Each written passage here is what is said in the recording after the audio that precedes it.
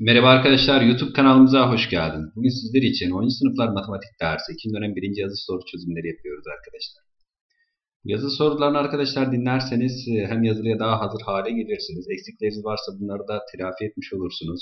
Ayrıca eksikleriniz varsa bazı yerlerde bunları da arkadaşlar üzerine giderek çalışarak daha hazır hale sınava girmiş olacaksınız. Tabii ki bu yazılıya sadece buradan izleyerek, bu videoyu izleyerek yazılıya çalışmış olmazsınız Dersi derste iyi dinleyin. Öğretmeninizin yazdırdığı, önemsediği yerlerin üzerinde mutlaka durun. Kanalımızda 10. sınıflara ait konu anlatımları, diğer derslere ait yazılı çözümleri de var. Yani diğer matematik yazılıları da var birkaç tane. Onları da izleyebilirsiniz. Ayrıca bu yazının arkadaşlar PDF olarak aşağıda indirme linkini paylaşıyorum. Oradan da indirip yazılıyı takip edebilirsiniz çözümleri. Ve fazla uzatmadan ilk soruyla başlayalım. Birinci soru arkadaşlar çokgenlerle ilgili bir soru. Köşegen sayısı kenar sayısının 4 katının 10 fazlasının 2 katından 10 eksik olan çokgenin kenar sayısı kaçtır? Şimdi arkadaşlar en kenar sayımız olsun. En kenarlı bir çokgenimiz olsun burada. Köşegen sayısının formülü n, n'in 3 eksi bölü 2 ile bulunurdu. Diyor ki 4 katının 10 fazlası yani kenar sayısının 4 katı 4n, 10 fazlası artı 10 yapacağız. Bunun arkadaşlar sonra 2 katının 10 eksiğini alacağız. Bunun 2 katının 10 eksiği. Yani bunu 2 ile çarpacağız. 10 çıkarmamız gerekiyor. Şu en içeri dağıttım. Burası n kare eksi 3n bölü 2. Şu 2n'i dağıttık. Şurası 8n artı çarparız artı 20 gelir. 20 ile de eksi 10'u işleme koyarsanız artı 10 olur. Burada işler dışlar yapalım sorunun çözümü burada devam ediyor. n kare eksi 3n eşittir 16n artı 20.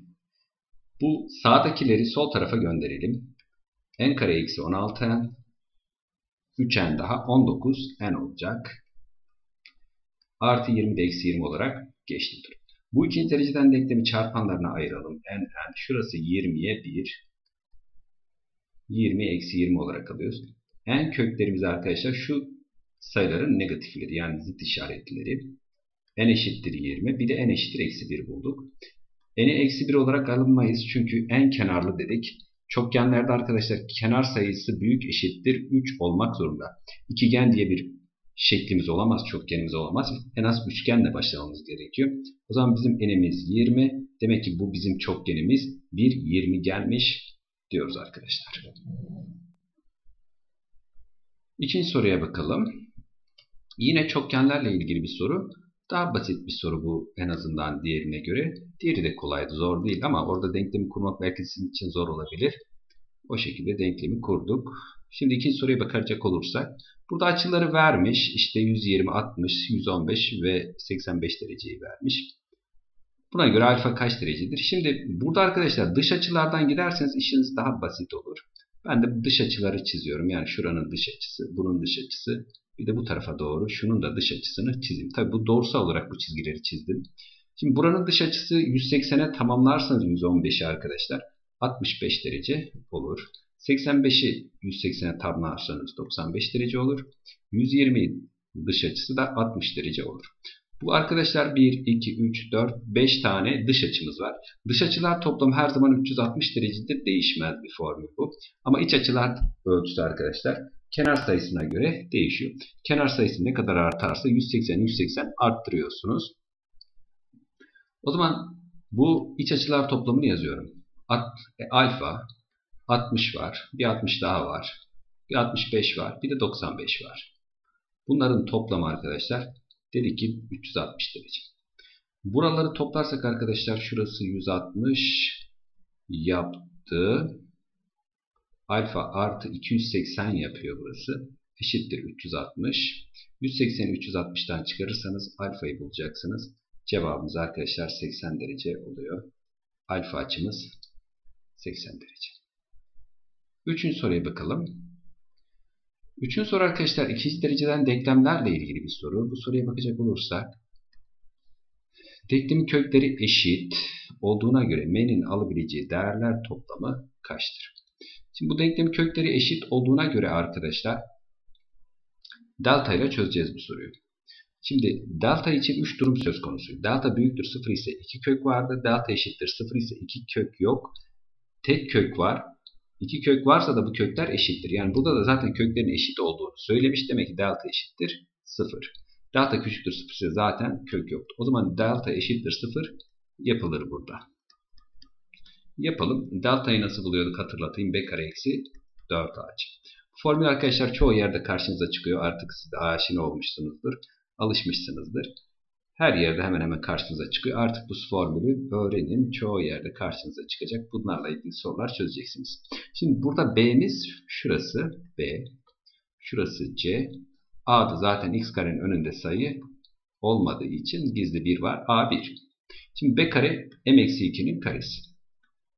Şurada eksi m artı 2 olarak da alabilirsiniz. Ama karesini alırsam bir şey değişmediği için ben m eksi 2 olarak alıyorum. A 1 C de m artı 1 eşittir 0.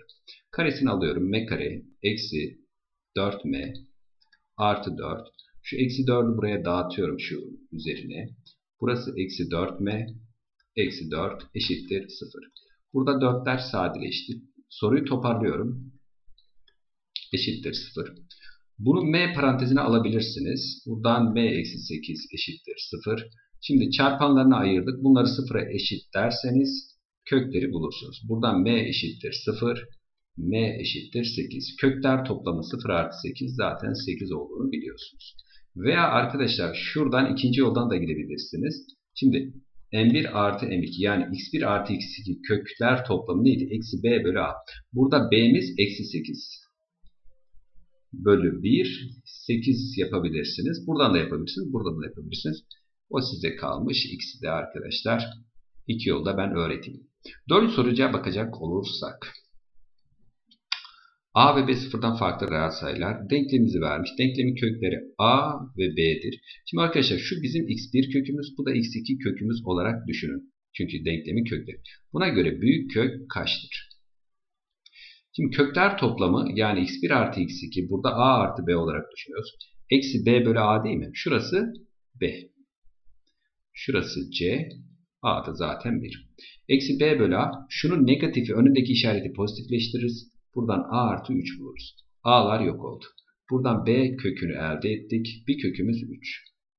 Diğer kökü bulalım şimdi. Arkadaşlar. Bunda kökler çarpımı yani a çarpı b yani x1 çarpı x2 c bölü a mı c bölü a eşittir b yazarız. b'ler gitti burada da a eşittir 1 çıktı. Evet kökün biri 3 biri 2 büyük kök kaçmış büyük kök yazalım. Kök 3 olur. Yazılıda da böyle açıklamalar yaparsak öğretmenimiz bunları değerlendirip gerekli puanları verir size. Bunlara da dikkat edelim arkadaşlar. Şimdi şu denkleme bakalım. Denklemi vermiş. Denklemin kökleri x1 ve x2'dir klasik olarak.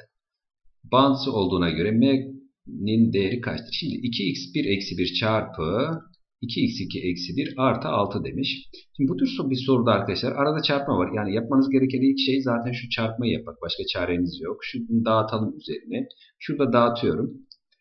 2x1 çarpı 2x2 4x1 x2 eksi 2x1 sonra eksi 1'i dağıtıyorum sağa doğru eksi 2x2 artı 1 artı 6 eşittir 0 yazabilirsiniz. Burada arkadaşlar 4x1 x2 değil mi? Bunu bir daha yazayım. Kökler çarpımı ama birazdan kullanırım. Buraya eksi 2 parantezine aldım. Şurası da 7 yapıyor. Bu 7'yi karşıya atıyorum. Eşittir. Eksi 7 yazalım. İşimiz kolaylaşsın. Şimdi burada arkadaşlar şurası komple B. A değil mi? A M oluyor. Şurası da C. Kökler çarpımı C bölü A. Yani 4 çarpı M eksi 1 bölü M. Eksi 2 çarpı kökler toplamı Eksi b bölü a. O eksi şuradaki eksiği arkadaşlar eksi b bölü a'nın eksisi o eksiği artıya dönüştürdü. Bölü a a'mızdan b. Eşittir eksi 7. Şimdi bu 4'ü içeri dağıttık. Burası 4 m eksi 4. Şu eksi 2 içeri dağıttık. Eksi 8 m eksi 2 bölü m yapacaksınız. Şimdi payda aynı olduğu için tek payda da yazdım burayı. Şuradan devam edelim. Şurayı toparlıyorum. Eksi 4m eksi 6 bölü m eşittir eksi 7. İşler dışarı çarpım yaptık çocuklar. Eksi 4m eksi 6 eşittir eksi 7m. Şimdi 4m'yi bu tarafa attık artı 4m eksi 6 eşittir eksi 3m. Her tarafı eksi 3'e bölerseniz m'yi 2 bulacaksınız. Cevabımız arkadaşlar 2 çıkıyor. Gelelim 6. soruya. Altıncı soru arkadaşlar karmaşık sayılarla ilgili bir soru.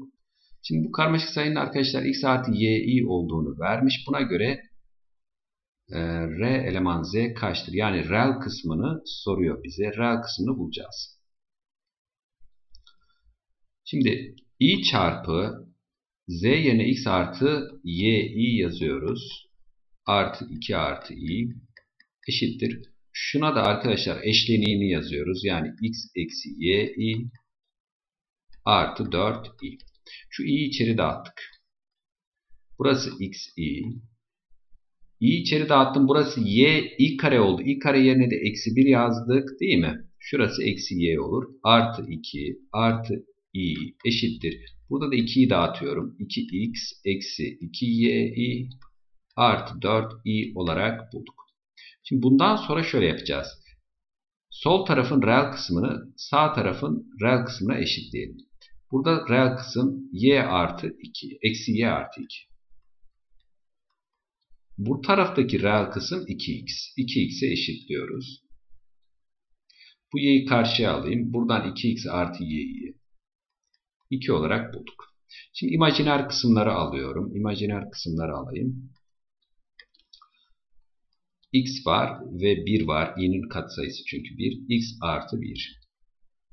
Burada da imajiner kısım eksi 2y artı 4 var.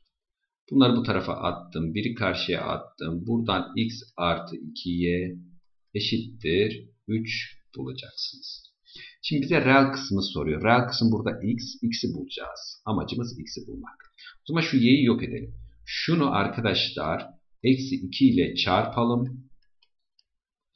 Bunun altına yazalım. O zaman eksi 4x eksi 2y eksi 4 oldu. Topluyorum bunların hepsini. 2y'ler gitti. Buradan eksi 3x eşittir. Eksi 1. Her tarafı eksi 3'e bölerseniz cevap 1 bölü 3 olacak. Yani rel kısım rel z 1 bölü 3 yazıyoruz. Gelelim 7. soruya. İ kare eşittir eksi 1 olmak üzere yine karmaşık sayı sorusu. i kare eşittir eksi 1 bu karmaşık sayıların özelliği biliyorsunuz. fx fonksiyonunu vermiş. Buna göre diyor f i kaçtır? Şimdi x yerine i yazacaksınız. Yani f i bulmak için x yerine i yazarsam burası i üzeri 9 artı 3 i üzeri 7 artı 2 i üzeri 5 artı i küp eksi i yazıyoruz. Şimdi i'nin kuvvetlerini hatırlayın. 4'ten büyükse 4'e bölüp kalan alıyoruz. 9'u 4'e bölerseniz arkadaşlar 1 kalır. 7'yi 4'e bölerseniz arkadaşlar 3 kalır. 5'i 4'e bölerseniz 1 kalır. Şimdi bu ifadeleri bildikten sonra işiniz kolay. Burası 5 i oldu mu? Oldu. Artı şurası 3 i küp. Sonra 2 i artı i küp eksi i. i'nin kuvvetlerinin yerine değerlerini yazalım. Şimdi i küp neydi? Eksi i. i küp eksi i. Şimdi şu 5i 2i eksi i. Toparlarsanız arkadaşlar 6i yazabiliriz bunların yerine. Sonra i küp yerine eksi i alınca şurası eksi 3i. Şurası da eksi i olarak alındı. Şunlar. Burası eksi 4i yapar. 2i'den çıkarırsanız cevap 2i olacak. Arkadaşlar bu soruyu da bu şekilde çözmüş olduk. Gelelim 8. soruya. 8. soru arkadaşlar çarpanlara ayırma konusuyla ilgili bir soru. Burada arkadaşlar bakarsak soruya ifadesinin eşitliği nedir diyor. Şimdi 2 kare farkı var mı? Var. Yani x kare eksi 2'nin karesi var burada. Aşağısı ise x'inde de x var değil mi? Bir de 5 ve 25 de ortak çarpanı 5 olduğu için burayı 5x parantezine alıyor. 5x parantezine alınca burası x artı 5 kalır. Şimdi ters çevirip çarpalım. Şunlarda y'ler ortak. Y parantezine alıyorum. Bölmeyi çarpmaya çevireceğim. Tabii ki şurayı eksik yazdım. Çarpı arkadaşlar y'ler ortaktı. Y parantezinde x artı 5. Yukarıda ise arkadaşlar ikisinde de y kareler ortak. Bunu da şöyle yazalım. y kare parantezinde x kare eksi 4. Şimdi bu da x kare eksi 4, bu da x kare de eksi 4. İki kare farkı yapmamıza gerek kalmadı. Normalde yapacaktık. x artı 5'ler de gitti. Tamam. Ne kaldı? Yukarıda y kaldı. Aşağıda 5 x y kare kaldı. Bu y karenin de bir tanesi gitti arkadaşlar. Yukarıda 1 kaldı. Aşağıda 5 x y kaldı. Cevabımız arkadaşlar 1 bölü 5 x y olur. 9. soru. 9. soruya bakacak olursak arkadaşlar ifadesinin en sade şekli bakın sadeleştirilmiş bu ifade. Bu ifade bulunmuş. Olduğuna göre a artı b değeri kaçtır? Şimdi ifadeyi yazıyorum. x kare a artı b x artı ab bölü aşağısı x kare eksi 5x artı eksi 24 eşitmiş. Arkadaşlar sadeleştirilince bu çıkıyor. Yani x eksi 1 bölü x artı 3 çıkıyor. Şimdi bu ifadeyi aynen yazıyorum bir daha. Yapacağım bir şey yok çünkü yukarıda. AB. Aşağısını çarpanlarına ayırdık. x, x. Şurası eksi 8'e 3 olacak. Değil mi? x eksi 8 çarpı x artı 3 eşittir x eksi 1 bölü x artı 3. x artı 3'ler gitti. Ben burada işler dışlar yaparsam şunu şunu çarpacağım yani x kare eksi AB A artı B yazacaktık. X artı AB eşittir. Şimdi bir köşede x eksi 8 ile x eksi 1'i çarpalım. Çarparsanız arkadaşlar x kare eksi 8x eksi x artı 8 gelecek. Yani toparlarsak burayı x kare eksi 9x artı 8 çıkacak. Bize diyor a artı b kaçtır? Zaten a artı b karşılık 9 var. Buradan a artı b'nin 9 olduğunu bulabilirsiniz. Cevabımız a artı b eşittir 9. Gelelim son soruya. 10. soruda arkadaşlar x küp artı 8 eşittir 0 ve x farklıdır eksi 2 olduğuna göre ifadesinin değeri kaçtır? Şimdi x küp eksi x küp eşittir eksi 8 yazıp x'in eksi 2 olduğunu bulabilirsiniz. Fakat bize diyor ki böyle bir şey yapamazsınız. Peki ne yapacağız? Şimdi şu ifadeyi aldım. x küp eşittir eksi 8 olarak kabul ettim. Tamam. Bu ifadeyi aldım şimdi. x üzeri 6 şurası. Bunu x küpün karesi olarak yazabilirsiniz. Peki şu ikisinde de ortak çarpan 8 mi? Evet. 8 parantezine alıyorum. Burası x kare eksi 2x oldu. Şimdi x küp yerine eksi 8 yazabilirim. Burası eksi 8'in karesi artı 8 çarpı x kare eksi 2x. Şimdi x kare eksi 2x'in eşitini nasıl bulacaksınız? Geldi işlemimiz. Ee, oradaki ifadeyi çözmeye. Şimdi şu ifadeyi alıyorum şurada arkadaşlar. Başka bir renkle yapalım bunu da. Mesela yeşille yapalım. Şimdi bunu şöyle yazalım. x küp artı 2'nin küpü olarak aldık. Yani 2 küp toplamı eşittir 0. Şimdi burayı x artı 2 çarpanlarına ayırırsınız. Birincinin karesi eksi çarpımları artı ikincinin karesi yani 2'nin karesi eşittir 4. Eşittir 0. Şimdi şurayı zaten 0'a eşitlersek eksi 2 çıkar değil mi? Ki böyle bir işlem yapamıyoruz. Şurayı 0'a eşitliyoruz. Burayı sıfıra eşitlersek x kare eksi 2x'i eksi 4 bulursunuz. Bu eksi 4'ü getirip burada kullanın. O zaman eksi 8'in karesi arkadaşlar biliyorsunuz 64. Artı 8 çarpı x kare eksi 2x'in yerine demek ki eksi 4 yazacağız. Buradan 64 eksi 32 Cevap 32 olacak. Arkadaşlar eğer tutup x yerine eksi 2 yazarsanız bu ifade 128 e, çıkıyor. Yani yanlış bir işlem yapmış olursunuz. Onun için bu değerlere dikkat edelim. Arkadaşlar sınavımızı çözümlerini bu şekilde bitirdik. Umarım sınavlardan güzel notlar arasın. Ayrıca tekrar hatırlatayım. Sınavımızın pdf olarak arkadaşlar aşağıda linkini paylaşacağım. Oradan indirip kendiniz de çözebilirsiniz. Ee, bu yazı sorularını arkadaşlar biz hazırlıyoruz ve Türkiye'nin en büyük eğitim sitelerine gönderiyoruz. Belki öğretmeniniz de o gönderdiğimiz bu yazı sorularının aynısını tutup size sorabilir. Karşınıza aynısı çıkarsa hiç şaşırmayın. Tekrar söylüyorum. Başarılar diliyorum. Hoşçakalın.